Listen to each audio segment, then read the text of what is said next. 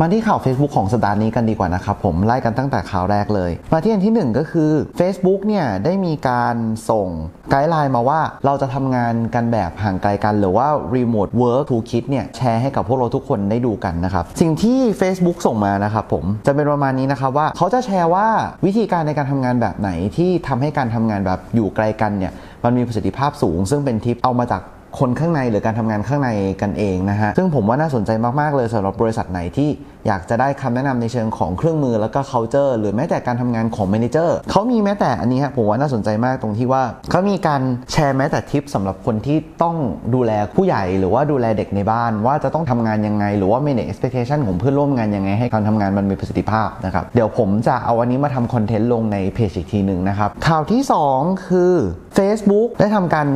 ใส่ฟังก์ชันที่ชื่อว่า temporary service change นะครับ คือ service นี้มีการเปลี่ยนแปลงชั่วคราว เพื่อที่จะเปิดโอกาสให้ธุรกิจต่างๆเนี่ยสามารถที่จะแชร์ข้อมูลของคนได้ว่าตอนนี้เนี่ยคุณได้รับผลกระทบจากโควิด -19 ยังไง ไม่ว่าจะเป็นเวลาเปิดปิดที่เปลี่ยนไป หรือว่ามีการเพิ่ม Delivery หรือว่า Take away Service เข้ามาในธุรกิจ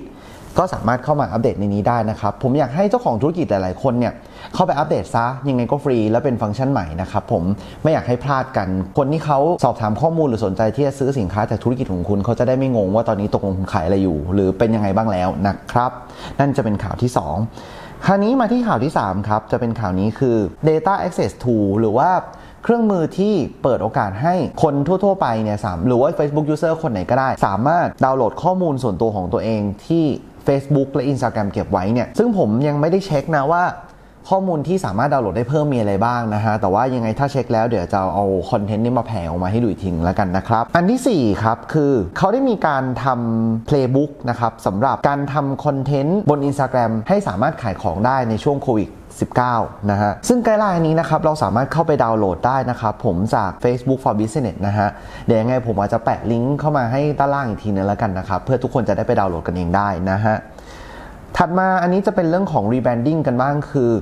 Facebook ได้มีการเปลี่ยนชื่อของ section ที่รวบรวมเครื่องมือในทดสอบทางการตลาดนะครับ จาก Test and Learn เป็น Experiment Tools นะครับ ตัว Experiment Tool เนี่ยเครื่องมือที่มีให้ใช้อยู่ข้างในเนี่ยสำหรับหลายๆคนที่อาจจะไม่ได้เคยได้ใช้นะครับ จะมีทั้งหมด 4 ตัวที่ทำให้เราสามารถ test ได้ว่าจะทำการตลาดแบบนี้หรือยิง Target แบบนี้ยังไงดีนะฮะ หลักๆที่มีให้ใช้มี 4 ตัวคือ 1. เราสามารถทำ A/B testing ได้คือ ถ้าสงสัยว่าระหว่างกอกับคออันไหนดีกว่ากัน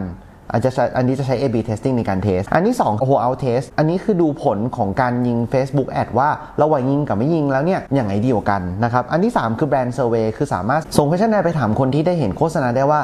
เห็นโฆษณาแล้วรู้สึกดีขึ้นกับแบรนด์หรือเปล่า การยิงการยิงโฆษณาของแคมเปญของเรานั้นทำให้เกิดผลในเชิงของจิตวิทยาทำให้คนรู้สึกดีขึ้นหรือไม่กับแบรนด์นะนั่นคืออันที่3และอันที่ 4 สุดท้ายคือดู Impact ของการใช้แคมเปญ Budget Optimization นะครับว่าทำให้ performance ของแคมเปญดีขึ้นหรือแย่ลงยังไง เครื่องมือเหล่านี้เนี่ยจริง ๆ เราสามารถใช้ได้ใน Ad Manager แต่ว่า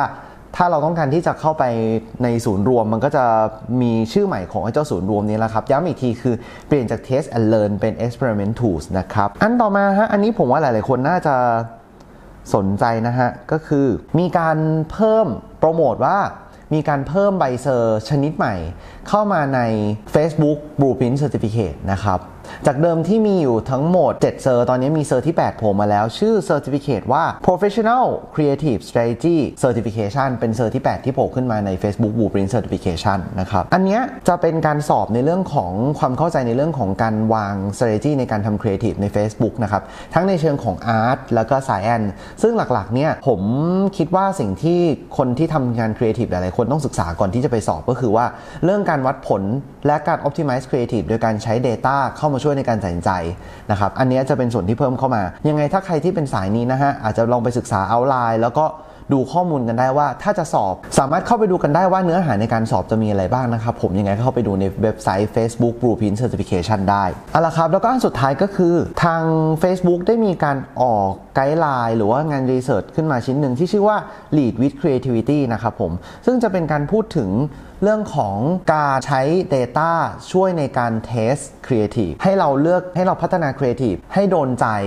เหมาะกับลูกค้าแล้วก็ให้ผลลัพธ์ทางธุรกิจที่ดีขึ้นได้ ซึ่งหลักๆนะครับผมเนื้อหาของมันเดี๋ยวผมเปิดให้ดูเลยแล้วกันเนาะซึ่งเนื้อหาหลักๆนะครับเขาจะพูดอยู่ทั้งหมด 3 หัวข้อด้วยกันในการใช้ Data มันช่วยในการทำ Creative ที่ดีขึ้นได้นะครับอย่างแรกที่เขาต้องการชี้ให้เห็นก็คือเนี่ยครับ isolate the impact of creative quality อย่าวัดผล Creative ด้วยความสวยงามเพียงอย่างเดียว หรือว่า Creative นี้ได้รางวัล Creative ที่ทำงานได้ดีจริง จะต้องให้ผลลัพธ์ทางธุรกิจตามที่เราต้องการหรือถูกดีไซน์ไว้นะอย่างเช่นว่า ทำครีเอทีฟแล้วปุ๊บอาจจะสวยแต่ขายของไม่ได้ อันนี้ก็ไม่ใช่ หรือทำครีเอทีฟอันนี้แล้วปุ๊บอาจจะสวยแต่คนจำแบรนด์ไม่ได้ อันนี้ก็ไม่ใช่ Facebook อยากให้เราเนี่ยหันมาใส่ใจกับผลลัพธ์ทางธุรกิจที่ครีเอทีฟนั้นทำให้เกิดขึ้นมากกว่าการดูแค่ความสวยงามหรืออย่างอื่นที่วัดค่าได้ยาก นั่นคืออันที่ 1 นะครับอันที่ 2 คือ deconstruct creative into individual element อันนี้จะเป็นการบอกว่า เราควรที่จะแยกองค์ประกอบของครีเอทีฟออกมา ให้เป็นชิ้นๆ ให้เราสามารถที่จะแยกได้ว่า เราจะเลือกที่จะ test ไหนก่อนว่า factor ไหนทำให้ครีเอทีฟชิ้นนี้ทำงานได้ดี อย่างที่เขายกตัวอย่างมาว่า element บางตัวที่แนะนำให้เราเอามา test ก็จะมีอย่างเช่นว่า ลองดูไหมว่า เราโพสต์เป็นวิดีโอแนวตั้งแนวนอนแล้วเป็นยังไง หรือว่าเรามีการเปลี่ยนความยาวของครีเอทีฟแล้วทำให้ผลลัพธ์ดีขึ้นไหม